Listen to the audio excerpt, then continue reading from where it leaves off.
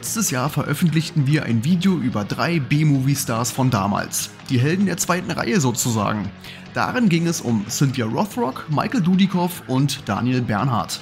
Ich hatte auch schon damals angefragt, ob ihr Lust auf einen zweiten Teil habt, da die Riege der damaligen Actiondarsteller und Darstellerinnen natürlich noch um einiges größer ist und aus aktuellem Anlass habe ich mich jetzt dazu entschieden, den zweiten Teil nachzulegen. Diesmal geht es um drei Herren, die ihr mit Sicherheit auch alle kennt. Wir sprechen über Fitnessprogramme, Erfolg trotz fehlender Englischkenntnisse bis hin zu einem ganz großen Was wäre wenn? Und damit herzlich willkommen zu einem neuen Special hier bei Ungeschnitten. Seid ihr bereit? Sind Sie bereit? Dann fangen wir an.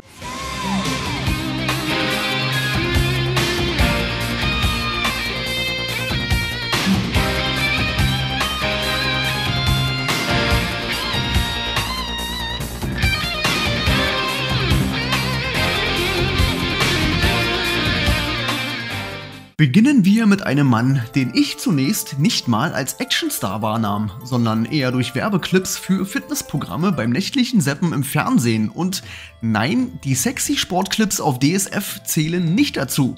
Aber meine Güte, diese Outfits waren doch einfach göttlich. Außerdem gab es da noch einen kurzen Auftritt in einem der besten Buddy-Movies der Filmgeschichte. Leider spielte er nicht unbedingt eine tragende Rolle in dem Streifen. Die Rede ist natürlich von Billy Blanks, der es aus ärmlichen Verhältnissen und mit satten 14 Geschwistern schaffte, sich mit Kampfsport erst einen Namen bei Turnieren zu machen und dann ins Filmgeschäft einzusteigen. Hey, life up, bitch. Mit elf Jahren fing Billy an, Kampfsport zu trainieren, darunter vornehmlich Karate und Taekwondo. 1975, also mit 20 Jahren, führte dies zu seinem ersten Titel, dem Amateur Athletic Champion, welchen er auch noch vier weitere Male gewinnen konnte.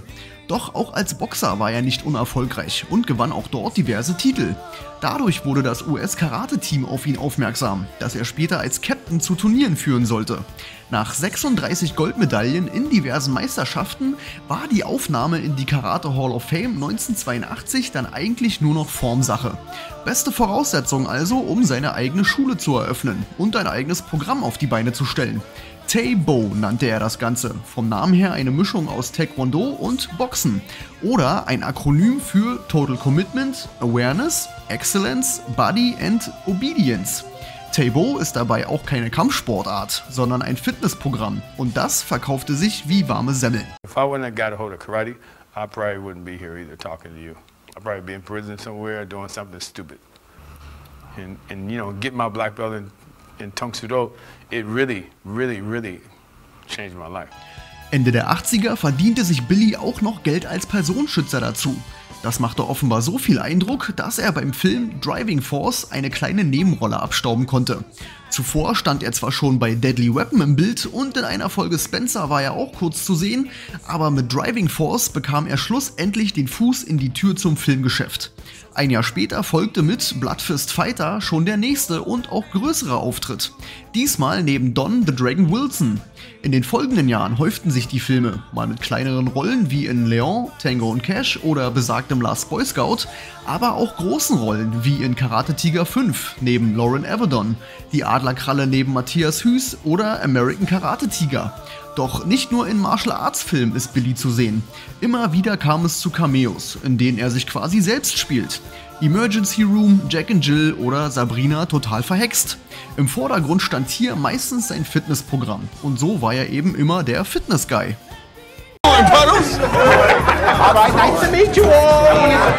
Am I crazy or is she hot? You're crazy. Mittlerweile ist Billy 67 Jahre alt, hat fünf Kinder und lebt in zweiter Ehe seit über zehn Jahren mit seiner Frau Tomoko Sato zusammen. Seinen letzten Auftritt bisher hatte er 2017 in Anatomy of an Anti-Hero. Allerdings ist auch eine Spin-off-Serie zu der The Circuit Trilogie in der Mache, an der er beteiligt ist. Und mit ganz viel Glück und Unterstützung dürfen wir ihn schon nächstes Jahr in einem neuen Retro-Martial-Arts-Film erleben. Aber zu dem kommen wir noch am Ende des Videos.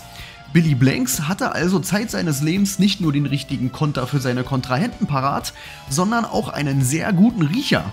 Gerade in den 80ern schoss die Fitnessbewegung in den Staaten so richtig nach oben und Billy war mit seinem Tabo zur richtigen Zeit am richtigen Ort.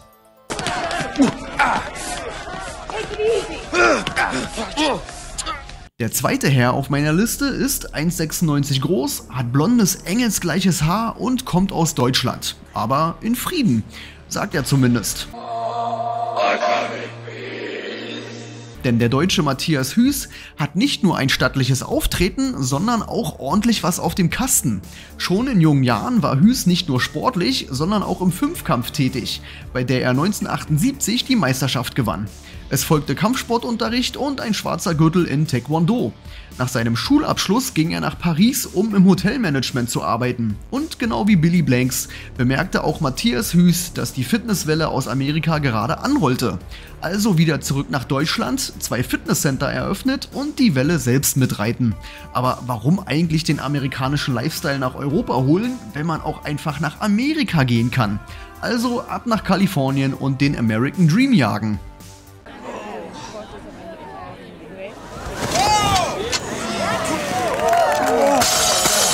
In Kalifornien, genau genommen am Venice Beach und noch genauer im Gold's Gym, tummelt sich auch genau der Menschenschlag, zu dem auch Matthias gehört. Muskulöse Macher, die im Leben mehr erreichen wollen, als nur ihren Bizeps zu stehlen. Und wie es das Schicksal so will, war auch gerade ein Produzent auf der Suche nach einem Darsteller, der niemand anderen als Jean-Claude Van Damme für sein nächstes Projekt ersetzen könnte. Der Belgier ist nämlich bei Karate Tiger 2 abgesprungen und Hüß bekam den Zuschlag. Über die Fortsetzung des Martial Arts Kultklassikers habe ich auf diesem Kanal schon des Öfteren gesprochen. Für mich ein wirklich unterschätzter Streifen. Und gerade Matthias machte als schlecht gelaunter General Yuri richtig Spaß. Und wenn man schon mal angefangen hat, fies zu sein, na dann macht man ebenso weiter. Abseits von kleinen Nebenrollen etablierte sich Matthias Hüß für viele zum Lieblingsoberschurken. Egal ob Fistfighter, Dark Angel oder Black Belt, Matthias war gemein wie 10.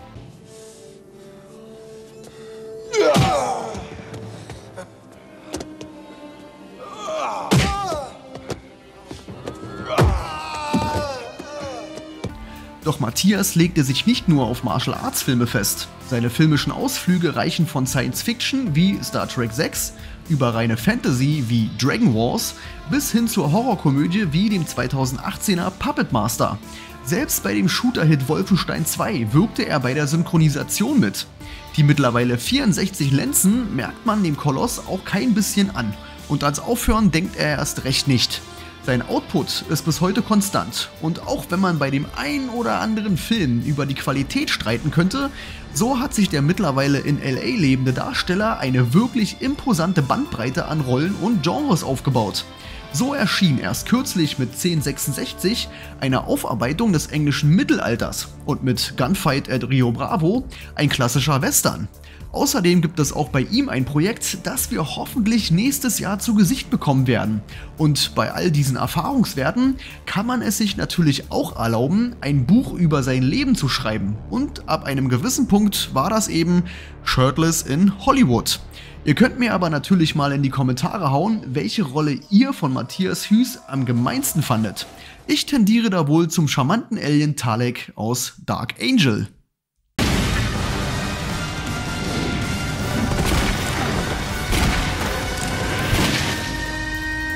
Der dritte im Bunde trumpft zwar nicht mit seiner riesigen Bandbreite an Filmen auf, aber dafür hat bereits ein Film gereicht, um ihn zum Kultdarsteller für Genrefans zu machen. Zu verdanken haben wir das zum einen Rocky und zum anderen Kentucky Fried Chicken. Klingt komisch, ist aber so. Wie bei vielen anderen begann auch bei ihm die Liebe zum Kampfsport bereits in Kindertagen. In diesem Fall eben Taekwondo und Kickboxen. Nach seiner Schulzeit verdiente er sich ein paar Dollar bei einem Dodge-Autohändler dazu und wurde dort von einer jungen Dame einer Modelagentur angesprochen. Diese verschaffte ihm erste Aufträge für kleine Werbefilmchen, unter anderem Kentucky Fried Chicken. Irgendwann hatte der junge Kurt allerdings bereits Blut geleckt und wollte mehr. Vor allem Rocky inspirierte ihn dazu, noch einen Schritt weiter zu gehen und seinen Traum als Darsteller anzugehen. Und dabei ging es ihm nie darum, der nächste Actionstar zu werden. Dass sein Talent ein guter Türöffner war, wissen wir jetzt natürlich alle.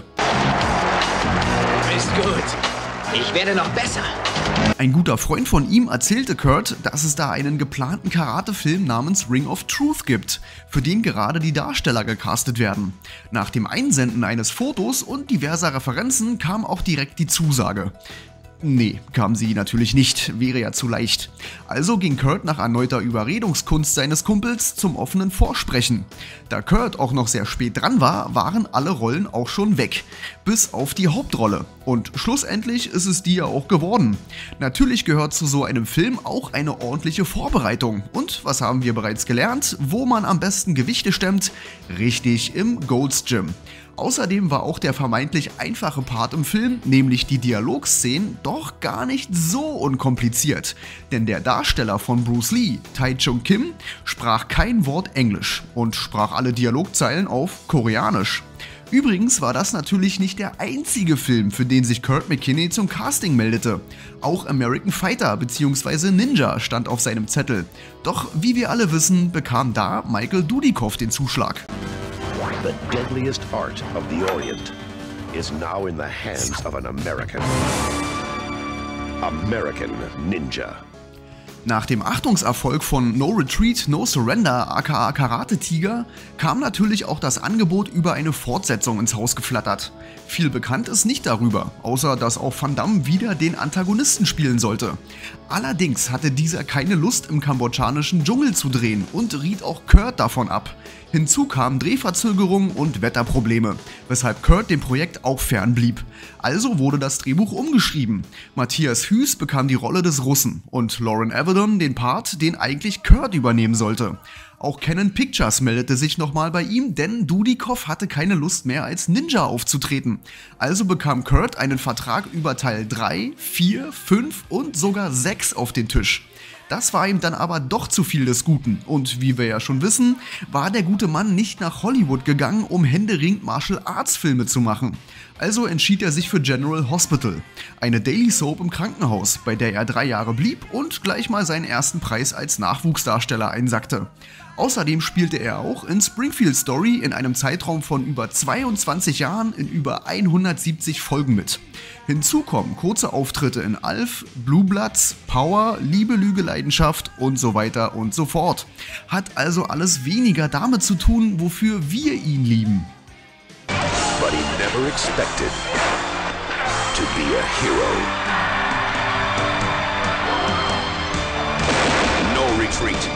No surrender.